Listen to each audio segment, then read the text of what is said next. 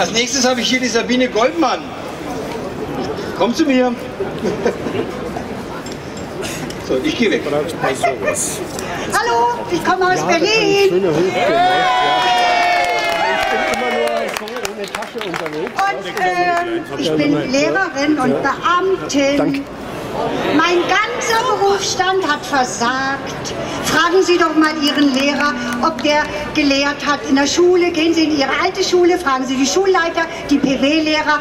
Ich bin Seiteneinsteiger von Wirtschaft. Ja, ich habe das schon immer an meiner Schule durch. Kein Schüler darf mehr das öffentliche Bildungswesen oder ein anderes verlassen, wenn er nicht die Deckung und die Eichung von Geld beantworten kann.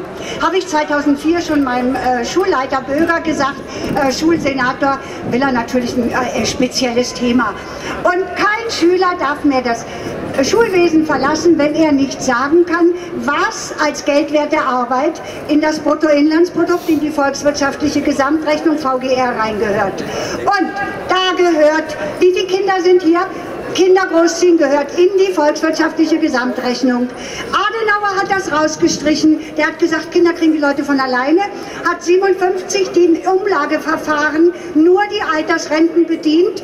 Und die verdoppelt und dann 57 eine absolute Mehrheit bekommen und Ludwig Erhard wollte nämlich Kinderrente und Altersrente und dann die Aktiven und so ist Volkswirtschaft korrekt definiert. Ich habe bei Hartz I den Rürup gefragt, ähm, da habe ich gesagt, äh, wer, wenn Sie Hartz I, ja das war 2002, der Euro war ganz neu, am 18. August äh, in Paris, äh, in, am Pariser, ähm, am Gendarmenmarkt in der französischen Kirche äh, und da habe ich Ihnen hab ich, äh, öffentlich gesagt, wenn Sie über Arbeitsplätze reden, müssen Sie erst die Deckung von Geld beantworten. Die Vorredner haben alle recht, ich kann Sie als Lehrer bestätigen. Sie müssen die Deckung von Geld beantworten, dann können Sie erst über Arbeitsplätze reden. Wenn Geld durch Arbeit gedeckt ist, gehört äh, Familienarbeit ins Geldmodell, andere Bereiche sind draußen, ebenso diese Zinsen, ja, stimmt alles. Und wir schlagen vor, ab drei Kinder unter 15 Jahren ein volles Managementgehalt, 2000 Euro. Wir dachten, das sind 4000 D-Mark. Ja? Es ist ja auch Nachtarbeit bei.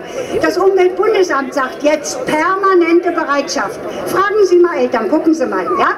Und ich bin auch Lehrerin, wir machen doch auch Demokratie, also ich bin Seiteneinsteiger. Sie brauchen auch erst die bezahlte Arbeit und dann brauchen Sie eine Lobby nach Grundgesetz Artikel 9, die Familienkammer. Freie Berufe sind in Kammern geregelt. Ja? Sie haben ja keinen Vorgesetzten als Familienmanagement. So, also ich bin Beratung für Aufbau einer Familienkammer und dann können wir alle Ferkelgesetze anfechten. Ah, Geschäftsgrundlage war nicht korrekt, Familienkammer war nicht beteiligt.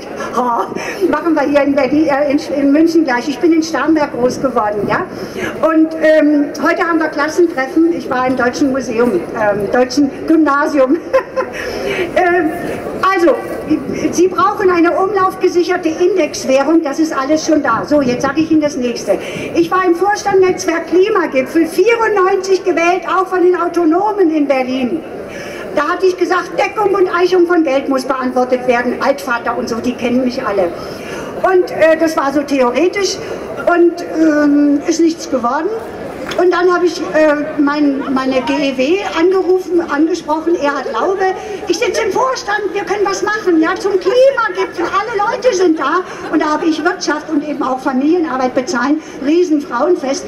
Ach, und dann hat meine GEW Berlin den AK Wirtschaft abgeschafft, um die grundlegenden Sachen nicht zu diskutieren. Es gab bloß noch AK BIFI, Bildungsfinanzierung, Uli Töne. Und der ist jetzt GEW-Chef Deutschland.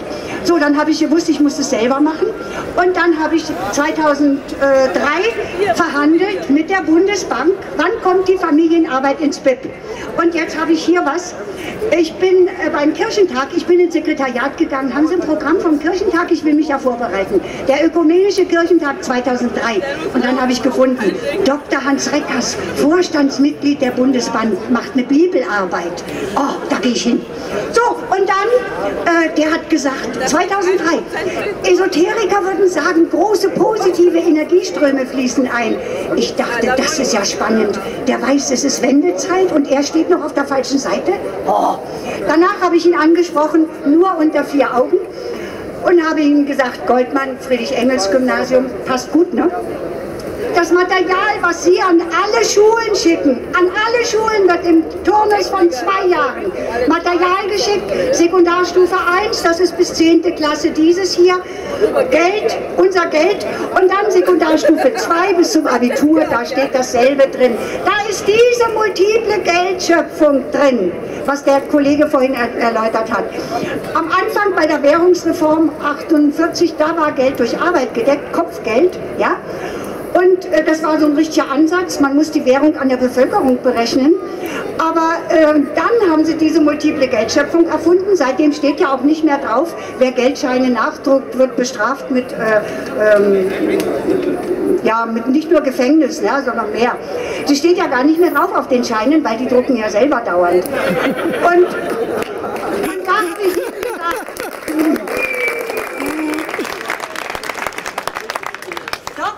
Schreckers.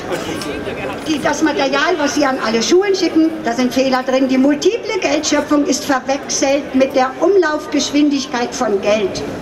Und die Familienarbeit ist mit einem simplen Definitionstrick als Vorleistung aus dem BIP rausgestrichen, aber Vorleistung der Bauarbeiten sind drin, ganze Vorleistungsgüterproduktion. Dr. Hans Reckers. Der guckt nach unten, ja, schaut mich gar nicht an, das kann ich jetzt nicht, sonst geht das Mikro nicht. Das sind halt unsere internationalen Finanzregeln.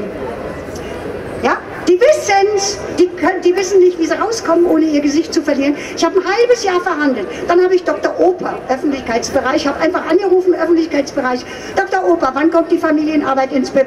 Ja, wir wissen nicht, wie wir sie bewerten sollen. Ich sage, da können wir Ihnen helfen. Das ist pralle Leben, ja, das ist Erste Hilfe, äh, das ist Berufsberatung, das ist Lebensphilosophie. Ähm, dann frage ich, äh, wie berechnen Sie denn die Geldmenge? Müssen Sie doch am Wirtschaftshandel im Währungsraum, Warenproduktion, Dienstleistung äh, und da gehört Familienarbeit dazu. Hm. Äh, wie ist denn Geld gedeckt? Ist gar nicht mehr gedeckt, wusste ich ja vorher, ne? aber ich wollte es ja mal hören. Nach 20 Minuten sagt Dr. Oper, äh, er möchte das Gespräch beenden. So, ähm, dann habe ich am 22. Oktober 2003 äh, ein Fax bekommen. Ich hatte in den Herbstferien, Weltecke war in Berlin, weil da diese Adlon-Geschichte war dann da passiert. Da war ein Genossenschaftskongress, er hat geredet, ich wollte rein, durfte dann doch nicht, aber ich habe die Tagungsmappe bekommen, setze mich unten ins Adlon und schreibe hin, was ist denn jetzt meine Eltern in der Schule, die wollen wissen, wann kommt denn Familienarbeit ins Bett, äh, wenn die Herbstferien zu Ende sind. Ne? So, und dann kriege ich als Antwort ein Fax und richtig die Berücksichtigung der Familienarbeit in der Geldmenge. Beruf, also äh, Betreff ist richtig formuliert. Und dann bla bla, wir können doch nicht einfach drucken, ist doch Inflation, dabei machen sie es doch dauernd. Der letzte Satz ist zielführend.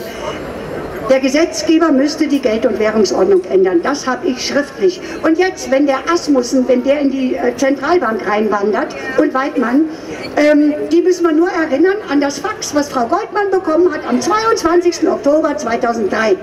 Aber ich kann das nicht alles alleine machen. Ja? So, dem Asmussen haben wir dann 2008 zur zweiten zum Baby gratuliert. Hoffentlich kann Ihre Tochter stolz auf Sie sein, dass Sie die Familienarbeit ins BIP reinnehmen. Sie sehen ja jetzt, was das für Arbeit ist.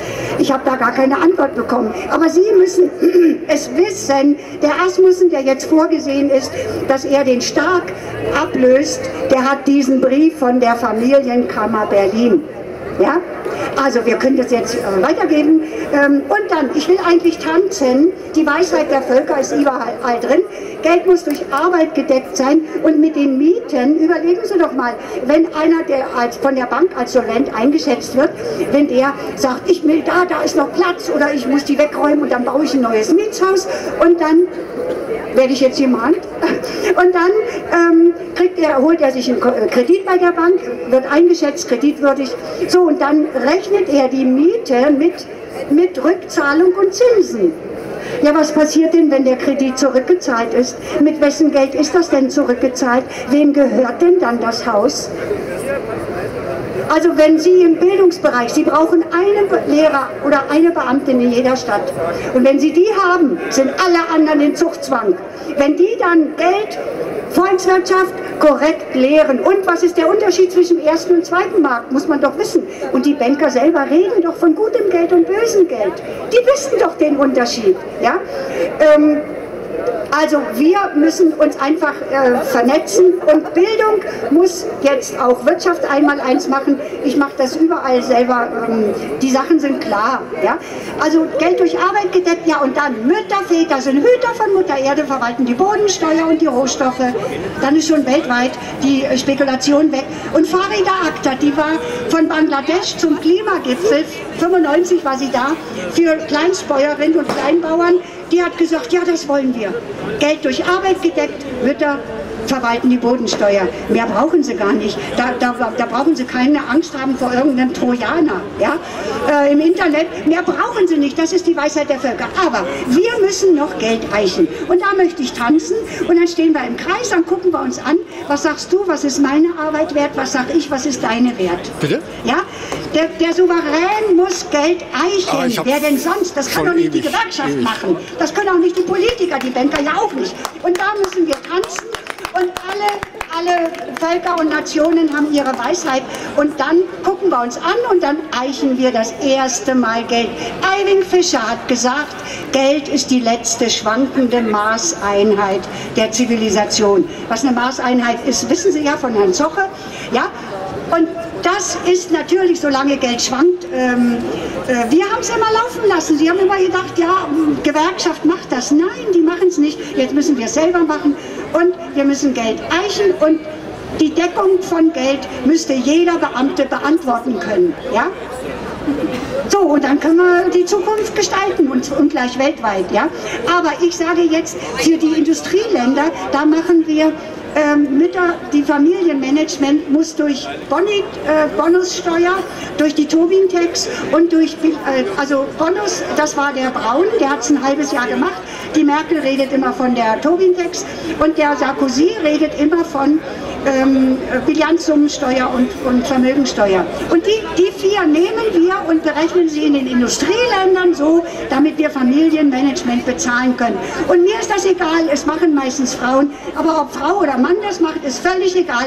Hauptsache das Geld ist da, dann, ist es, dann machen wir eine Arbeitsplatzbeschreibung, da machen wir auch ein Fest, machen eine Arbeitsplatzbeschreibung gemeinsam und dann ähm, eine Eichung, wie viel ist das wert? Und dann machen wir die Kammer und machen eine Bundesfamilienpräsidentin, die fährt dann mit der Merkel und Hund und Keitel, fährt die dann mit ja, nach draußen. Okay, ähm, hier auf der Bildungsmesse war ich äh, 2006, Didakta ist alles drin. Bildung für die eine Menschheitsfamilie nach dem Prinzip, Geld ist durch Arbeit gedeckt, wobei für Kinder, Kranke und Senioren Geld im Vor- und Nachgriff durch Arbeit gedeckt ist. Und dann sind ihre Renten alle sicher. Ja?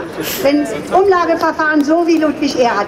Lasst uns froh und munter sein, Kinder gehören in das BIP hinein, lustig, lustig, tralala. Bald ist Ludwig Erhards Marktwirtschaft da, bald ist Ludwig Erhards Kinderrente da. David Thompson.